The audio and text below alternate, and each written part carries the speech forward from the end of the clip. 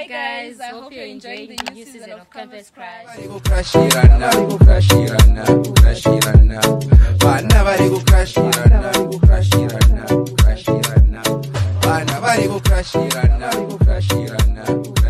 What's happening, guys? What's popping? What's cracking? What's sexy? What's juicy? What's rocking? Oh, yo, yeah, guys.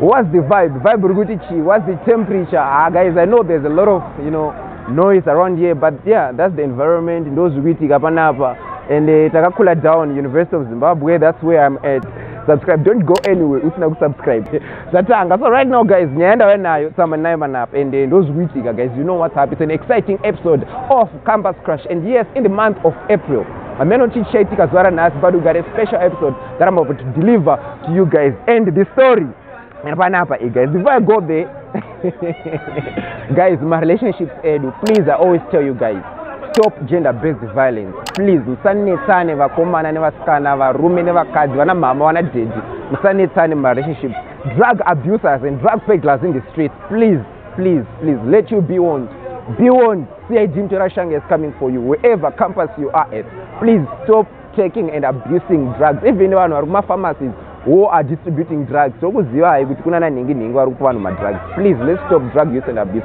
because toda kusvika vision 2030 we want a healthy youth maize toda mayouth ari health kusvika 2030 also want to eradicate ma stis maize so use macondoms ngatishandise macondoms akazara guys macondoms clinic wherever you want to get my condoms they are free everywhere you can you are free to have sex but engage using my condom so that we have a healthy youth by 2030 where we know kuti aiwa apa middle income society yataurwa yaka eh, ndiso achiso anenge apinda munds 1 nds 2 iri kutaurwa napresident munangagwa maiziya but anyways hello dj mambo my name is zangu olarion and ye yeah, im a student here at the university of zimbabwe ndine chimoko eh, chandiri kufilira boys chimoko ichinonzi ketra shiis light skinned mwana iye anoita law and i part two so guys please help me talk to iye anogara kunc5 mwana inyama ipombi guys but mwana anoti ganze bijana so ndoda kuzama lakranga iwana see what happens when i go talk to ye ndikumbirawo mucreate atmosphere yekuti ndokwanisa kutaura naye because mwana haabatiki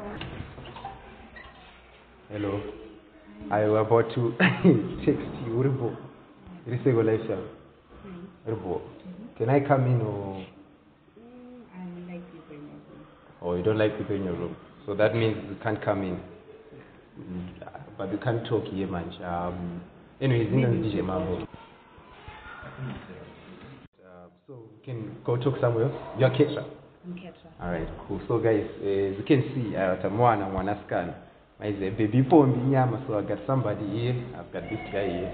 Uh, name is. Malaria. So we want to have a conversation with you.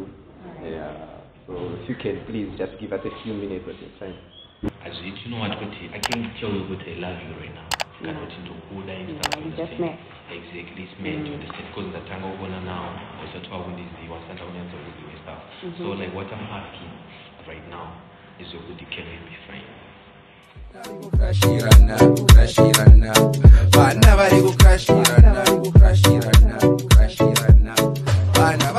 crush it.